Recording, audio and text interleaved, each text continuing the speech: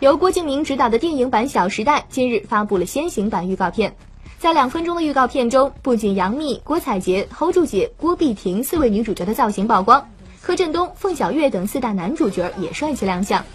片中华丽的造型以及错综复杂的感情纠葛，让影迷们对这部电影充满了期待。